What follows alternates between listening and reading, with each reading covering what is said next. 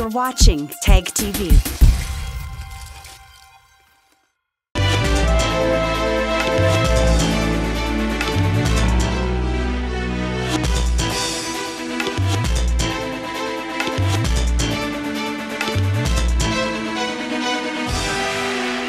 From Kashmir to Kanyakumari, India is a spellbinding mosaic of culture, tradition, languages, and an extraordinary mingling civilization.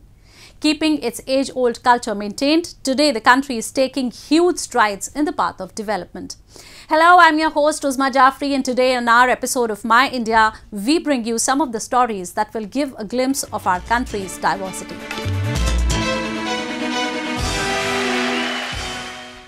India has a long history of arts and crafts. Every part of the country has its own unique cultural ethos, which is manifested in the handicrafts of that particular region.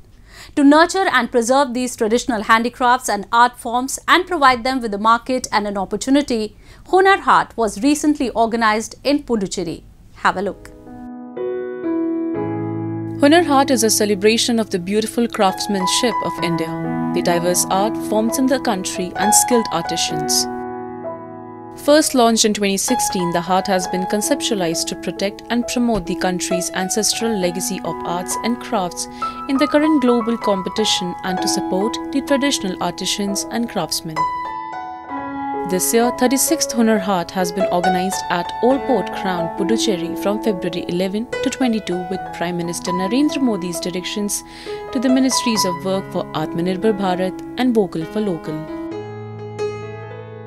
यहाँ पे सभी अ, हस्त कारीगर आपको पूरे भारत में से मिलेंगे और डिफरेंट टाइप के क्राफ्ट्स हैं जैसे एम्ब्रॉयडरी है मेरा है ब्लॉक प्रिंटिंग है फिर कारपेट है वीविंग है सब तरीके का वुडन क्राफ्ट है। मास्टर सब क्राफ्ट कारीगर आए हुए हैं तो आप ज़रूर यहाँ पे आइए सब लोग।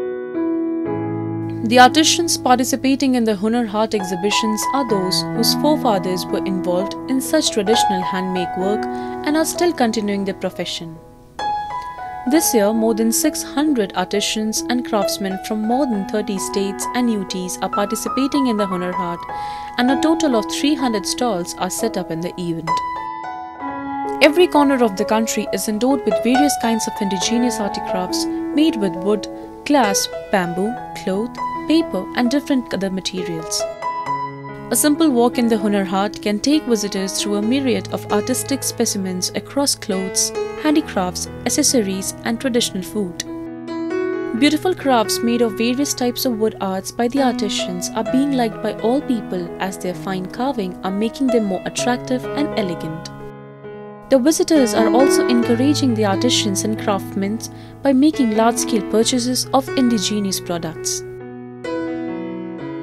मैं उत्तर प्रदेश मुरादाबाद से आया हूँ। मैं अपने जो है अपने मेटल का बना हुआ सामान लेकर आया हूँ जो हैंड जो होम में डेकोरेट में काम में आता है। ये सब पूरा का पूरा सारा का सारा सामान हैंडमेड से बना हुआ होता है।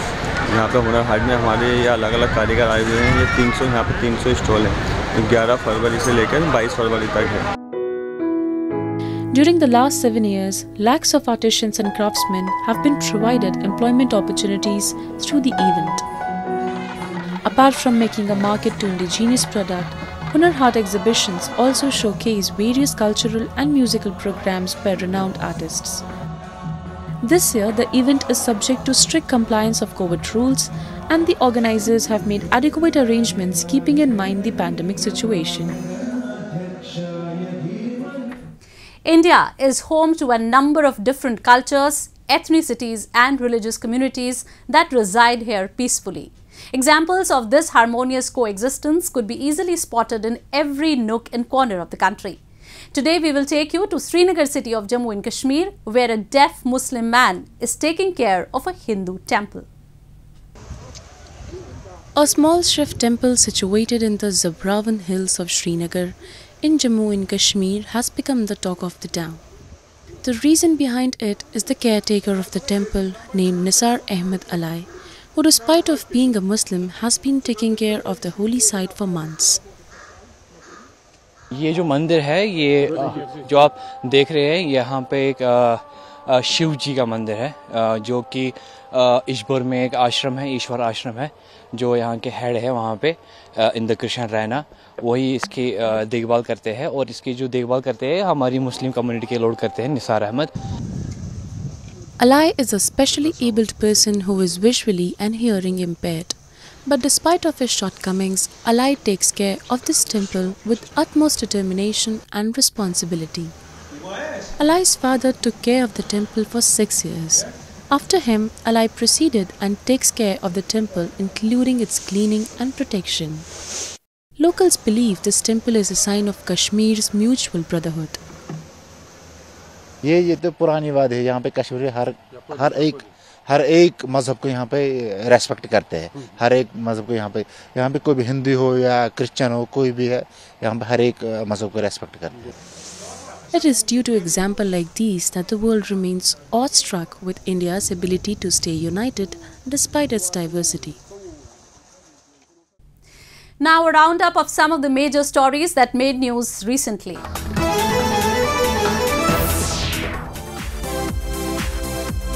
Indian Space Research Organization launched three satellites into the lower orbit of the Earth at an altitude of 529 km from Satish Dhawan Space Center along the eastern coast. The satellite was lifted by PSLV C-52 Polar Satellite Launch Vehicle. The main payload was EOS-04 Earth Observation Satellite, a radar imaging satellite for high-quality pictures to serve agricultural purpose, forestry and plantations, soil moisture and hydrology, and flood mapping. ISRO Chief S. Somnath congratulated the teams involved and declared the mission a success after precise separations and establishments of satellites in the intended orbits. The mission of PSLV C-52 EOS 04 has been successfully accomplished.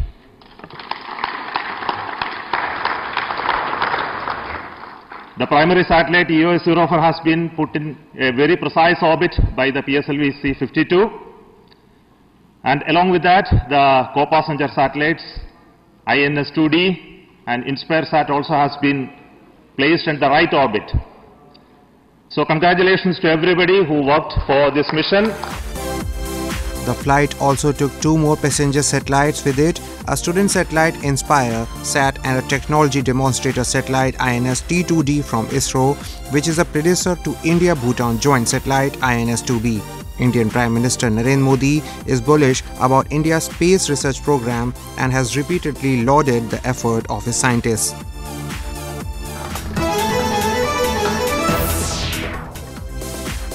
Indian Institute of Skiing and Mountaineering in Jammu and Kashmir's winter sports hub of Gulmarg is training the youth of the valley and the country in various adventure sports.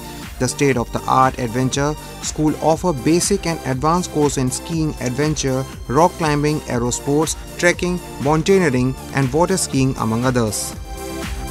जहाँ हम adventure के अलग अलग type के courses करते हैं winter में basically skiing के ऊपर एम्फेसिस दिया जाता है तो विंटर में हम सिक्स कोर्सेज दो हफ़्ते के हर कोर्स होता है। सिक्स कोर्सेज करते हैं।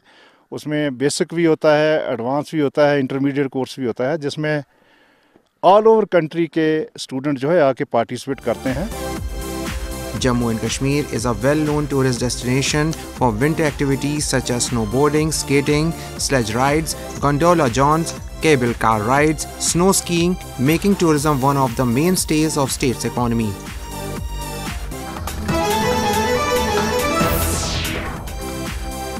Mango traders auctioned the most expensive mango in 50 years in western India's Pune city. The crate of Ratnagiri Alphonso mango, one of the most popular and considered best mango varieties in the world, was sold at 31,000 rupees per crate during the auction.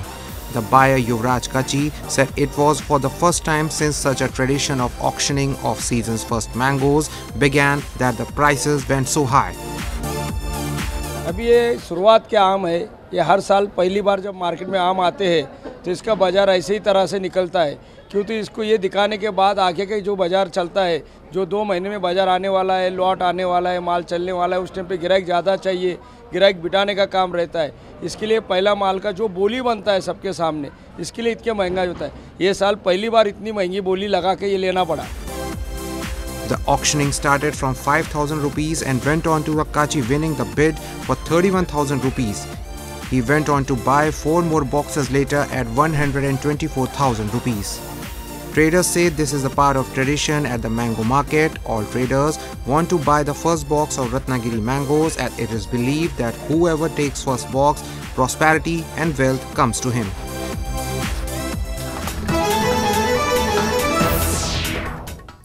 Jammu and Kashmir has been the land of great Sufi saints and mystics. The teachings of these Sufi saints have acted as a guidance force for many citizens. Recently, the Urs of Sufi Saint Ghulam Nabi Khan was organized in Anantnag district of the Union Territory, which brought together people of all faiths under one roof. Situated among the snow-clad pastures of Anantnag district, the Dargah of Ghulam Nabi Khan is an epicenter of religious harmony. Regarded as one of the oldest dargahs in the district, the dargah gives out loud the message of peace, kindness and brotherhood. To perpetuate his teachings of oneness and communal harmony, the Urs of the Sufi saint was recently organized at the shrine that was attended by people of different faiths. सूफी बुज़ुर्गों की अगर हम बात करें तो सूफी बुज़ुर्गों का हमेशा से यही दरस रहा है कि मिलजुल कर रहे हमसाए का ख्याल रखे चाहे वो हिंदू हो या मुसलमान हो। हिंदू मुस्लिम भाईचारा जो है वो इन्हीं की देन है और इन्हीं की वजह से आज पूरे कायनात में अगर देखा जाए तो भाईचारे की एक मिसाल कश्मीर है। और ये सब कुछ सूफी बुज़ुर्गों का सिखाया हुआ है जो पूरी दुनिया में प्रचार हो रहा है कि भाईचारे की मिसाल बनी हुई है कश्मीरवादी। ये इन्हीं का सब कुछ सिखाया हुआ है। Also known as Ibn Fida, Nabi Khan was the younger son of Lassa Khan Fida, a popular Sufi saint of Kashmir Valley. Devotees from different parts of the valley came together to celebrate the Urs by resounding and reciting verses of the Holy Quran and Naats. Authorities had made arrangement for devotees under COVID protocols and administration made sure that only a limited number of devotees participate in the Urs. आज ये जो हमारे annual यहाँ Sufism का एक culture यहाँ होता है, हमारे कल्चर में सेवन हंड्रेड ईयर से चलता आ रहा है और हमारी अनंतनाग में फ़ेमस एक जियारत है जहाँ पे आए और एस ओ पीज़ का बहुत ही अच्छा पालन किया गया। सैनिटाइजर्स प्रॉपर अरेंजमेंट था। जितने भी स्टैंडर्ड अप्रोचिंग प्रोसीजर्स हैं, वो सबों ने फॉलो किए हैं। जो मैनेजमेंट में यहाँ की जियारत की, उनने बहुत ही अच्छे प्रोटोकॉल के साथ इस दिन को आज मनाया है। For the last several years, the Dargah of Ghulam Nabi Khan has been playing a key role in strengthening secularism and promoting harmony amongst all religions. And now we will take you to Ladakh, where the 15th CEC Women's Ice Hockey Championship was organized recently. Take a look. The territory of Ladakh not only serves as a perfect destination for spending holidays in the winter season, but also for enjoying a wide variety of winter sports. Ladakh being the hub of ice hockey in the country, the 15th CEC Cup Ice Hockey Championship 2022 was recently organized in Ladakh. Due to the pandemic, all matches had been kept on a knockout basis. अभी तकरीबन 30 साल से हम Ladakh winter sports club इस ice hockey को promote कर रहे हैं। तो हमने देखा हुआ है कि पहले हम कर्जू एक पौंड में खेला करते थे, जो साइड बोर्ड भी नहीं थे उस समय, सिर्फ़ प्लैंक्स लगा के खेला करते थे। अभी उस 30 साल के बाद आप देख सकते हैं कि यहाँ पर एक इंटरनेशनल स्टैंडर्ड का एक रिंग बना हुआ है, जो कि शायद हमें उम्मीद है इस साल कंप्लीट हो जाएगा। और साइड बोर्ड, जो कि आपने शायद हर मैचेस में देखा होगा हमने साइड बोर्ड्स लगाए हैं जो कि हमें हॉकी फाउंडेशन अमेरिका और कैनेडियन जो कि हमारे वेल विशेष हैं उन्होंने हमें डोनेट किया हुआ है। ये एक इंटरनेशनल स्टैंडर्ड का अभी हर प्लेयर जो है हर टीम जो है वो इंटरनेशनल स्टैंडर्ड साइज़ पे साइज़ के रिंग पर वो खेलते हैं with the boards Organized by the District Youth Services and Sports Department in collaboration with Ladakh Winter Sports Club Leh, a total of seven teams participated in the event.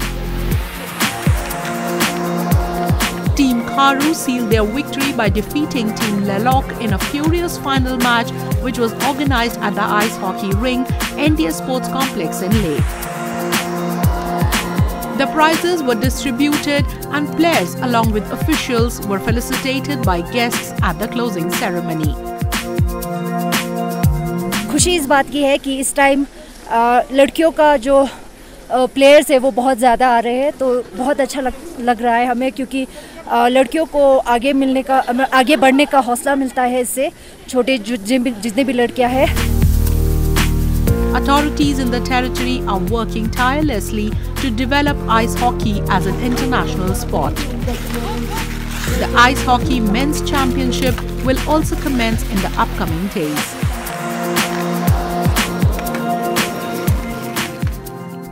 At last, we bring you a few short stories about the recent developments and happenings from around the world in our section of World in Focus. Venice officially kicked off its carnival celebrations with a parade of historical and scenic boats on the Grand Canal. The waterborne parade, representing different organizations and affiliations, made its way along the fabled canals carrying cloaked and masked Venetians, cheered on by visitors on the bridges and piers. The Venice Carnival is world famous. It always takes place during the 10 days leading up to the Christian religious season of Lent, which is traditionally associated with fasting and other forms of abstinence. Carnival, being a pre Lent festival, means farewell to meat and is celebrated throughout Italy. It was first held in Venice in the 11th century and consisted of over two months of revelry until it fell into decline during the 18th century.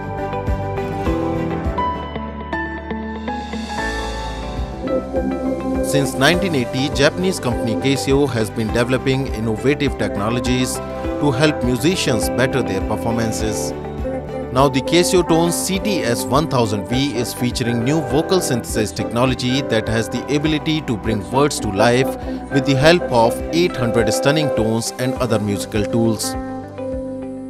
こちらのキーボードはあのいわゆる普通の、えーシンセサイザーキーボードとは違って、えー歌います。でその歌うというのがとてもユニークで、まあ、日本では、えーボーカロイドというそういう、えーコンピューターを使って、えー人工的に人が歌っていない歌声を作るというのはもうポピュラーであるんですけれどもこれは英語も日本語も、えーどっちも歌うことができます。でその歌詞もスマートフォンやタブレットからその歌詞を送って自分の好きなように、えーこいつを、えー歌わせることができるので僕はキーボードというよりかは新しい楽器かなというような感じがします。このキーボードは、まあ、電子キーボードとしてあのカシオトーンのバラブランドの中で、まあ、一番の高いハイグレードなものとして開発されています。であのこれまではですねあのキーボードっていうのはあピアノの音はもちろん、あとギターやあ管楽器弦楽器のようなたくさんの音を使って一人でワンマン演奏できるというのがまあ基本的なコンセプトの商品だったんですけども、まあ、これまであの音音質はあの、ね、日進月歩で良くなってきてはいるんですけども最後まであの出せない音があったんですね。でそれは何かっていうと人間の声だったんです。えーボーカルっていうものが音楽あのキーボードで再現できないのはやっぱり残念だなというのをずっと考えておりましてね。でその中でたまたまえ名古屋工業大学というところで研究されている声を使ってえ音楽を奏でるという研究をされてましてでその技術をカシオの技術と融合させることによってそしてそれを鍵盤で弾けるようにするっていう技術を開発してそれによって今回鍵盤を使って歌詞を含んだ声ボーカルを演奏することができるという商品を作ったというのがこの商品の、えーまあ、経緯コンセプトでございます。 This innovative vocal synthesis allows user to choose from multiple vocalist models and adjust age, vibrato, portamento and other parameters. It can produce choir, robotic sound, vocoder-like textures and more and even create a custom vocalist based on an audio recording.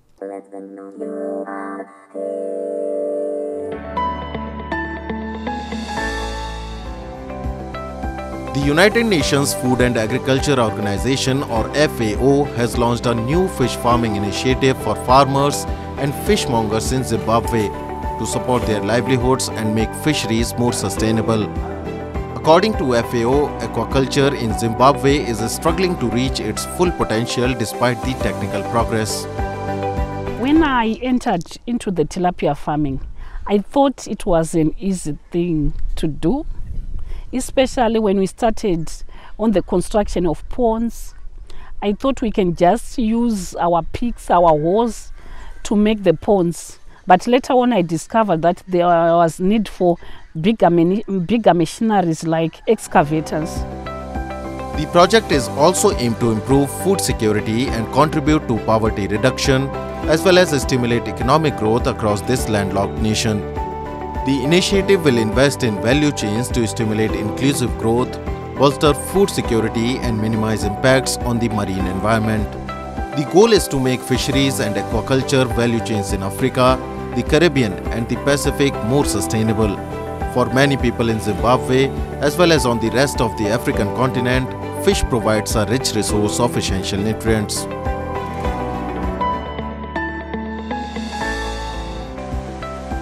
NTT Communications is a representative Japanese company of ICT and DX. NTT Communications is developing robot to manage the function of data center. With many companies moving to DX, the number of data centers is increasing rapidly, thus requiring more reliable management and efficient service delivery. There are a number of subjects like continuous increasing capacity, increased maintenance cost and shortage of staff which needs to be looked after. The developed robots could be brought into use for solving these issues.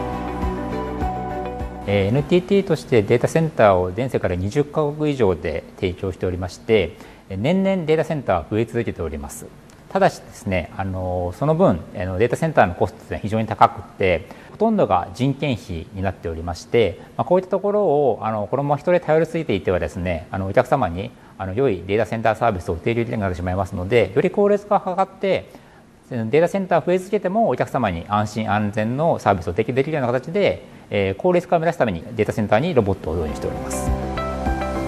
NTT Communications is developing the most effective and efficient management of data center. It is the mission as a spearhead company of ICT and DX.